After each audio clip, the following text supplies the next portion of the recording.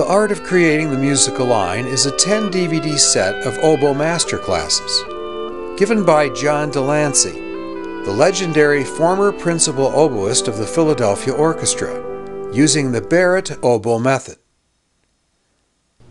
This detailed educational DVD series includes John de Lancie's introductory lecture, Phrasing is the Art of Defining, while playing the grammatical structure of music, which is a straightforward and thorough exposition of the concepts which underscored everything Mr. de Lancie taught to his students at the Curtis Institute of Music and elsewhere. We all know that the reed, you get the sound because those two blades are flapping together, okay?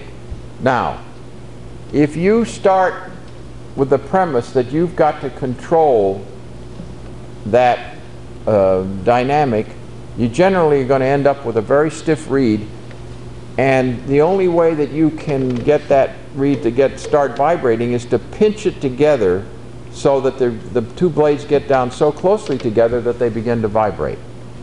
Although his emphasis is clearly on phrasing, Mr. de Lancie's keen ear and depth of knowledge also reveal many common oboe playing problems, which can plague even the professional player. Yeah. Uh, try playing on the tip of the reed. It sounds Okay. like the reed is not vibrating for you.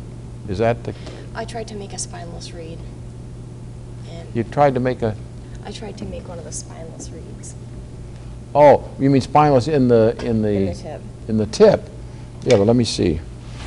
Let me see what it looks like.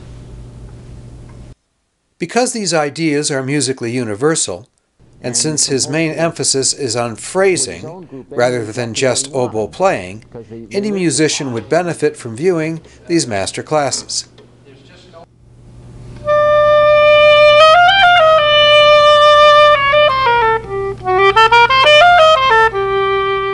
Five days of master classes are included, with more than 18 hours of detailed, individualized instruction given to a broad diversity of performers.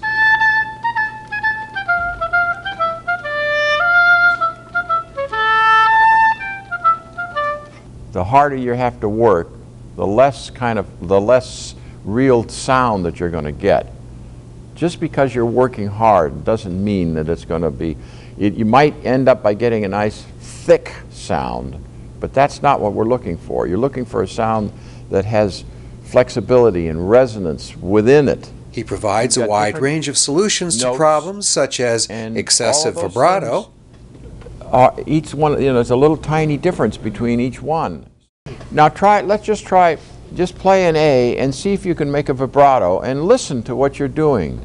So see if the, if you can, you have, you can get some clue as to how to control it. Just play an A and hold it and make a vibrato, and, and let's hear an, a vibrato.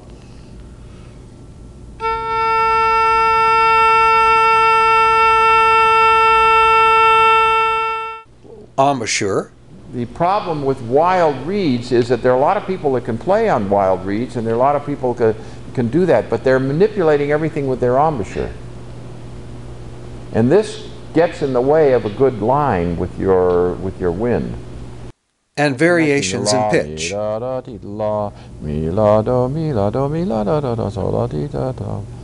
And then G sharp there, you know, in that second measure, yeah.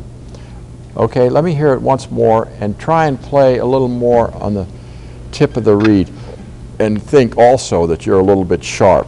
Each of the many students who take part in these master classes us hear those provides you, the viewer, with You have to invaluable instruction from one of history's great masters, Your ear would have told you right as if you were attending the classes yourself. So you start up reading.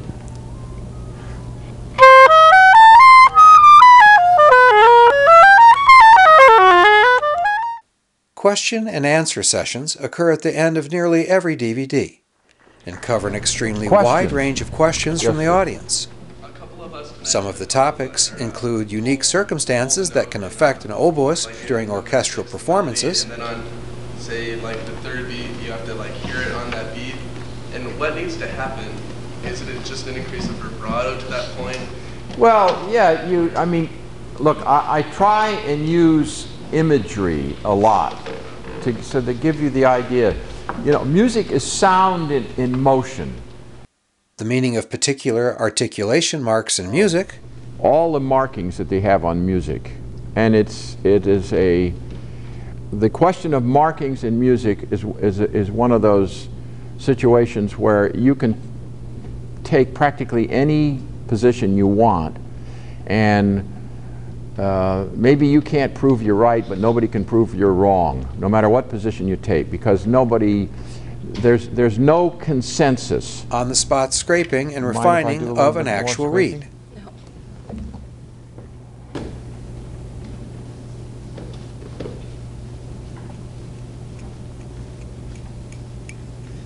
And also We John de Lancie's experiences serving in World War II. With the Germans, obviously. That's nice way to put it in competition.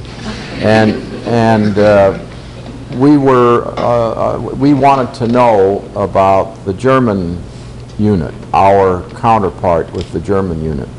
So when the war ended, one of the... including meeting Richard Strauss at his home in Germany. Yes, ma'am. How did you meet Strauss? I met Strauss at the end of the war. Um, I was with a with a, a unit that operated primarily with radio. Now I had joined the Philadelphia Orchestra as as well as some of his personal and musical experiences during his days in the Philadelphia Orchestra. the associate in that I played half of the season. My, I played first half of the season because he didn't want to play. And when um, the manager of the orchestra heard about this, they wrote the manager also, and the manager came to talk to me about it. The bonus lecture, The History of Pitch as it relates to the modern day symphonic oboist, is also included in the DVD set. I'm going to read you what uh, um, a little lecture that I uh, prepared years ago that I used to deliver at the Curtis Institute for my students, and both oboe and wind students. And um, I want you to understand this is not a scientific treatise by any means. Although some of the information may surprise you, it basically covers the 300 year history of the irregular, arbitrary, but generally constant rise of the pitch of orchestras, starting back in the 1700s and continuing through the modern day. So do the high pitch of the Albert Hall concert organ, which was pitched at 454. This chart, now I think of this one, this next chart gives the pitches that existed in the Paris, Berlin, and St. Petersburg operas from, eight, from 1700 to 1859. And you see 1700, 18, in uh, Paris, 404 at the Paris Opera. And then it kept going up. Berlin in 1750 is 421.